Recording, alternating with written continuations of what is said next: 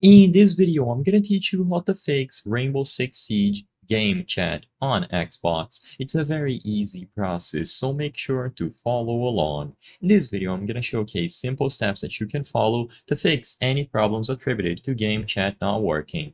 Of course, everything that I say is going to apply if you have a microphone connected to your console. The first thing that you should check before starting is to go over into the settings of the game, go over to options, and in here switch over to the audio tab. As long as you have a microphone connected, you will have access to all of the audio settings here. If you need to double check, you can go over to the Xbox settings instead and look at the input devices. Regardless, once you have the input device properly connected, you will have to change a bunch of settings. So voice chat volume is completely personal. This is going to determine how loud you can hear the sounds coming from the game chat. And the next most important setting is going to be voice chat input mode. If this is set to disable, then voice chat is going to be completely off, which means that you will not be able to talk and hear other people. You have to set it to either open or push to talk. Push to talk is going to transmit your voice once you press and hold a specific button and you keep talking while that button is pressed down. And if you set it to open, your microphone is going to capture every single noise and you don't have to press any button or do any specific commands for your voice to be transmitted.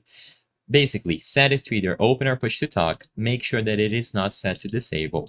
The next thing to check is the voice chat input volume. Now, while this is personal, it is going to determine how loud your microphone records audio. So, if you set it way too low, your voice won't be transmitted because you are going to sound way too quiet.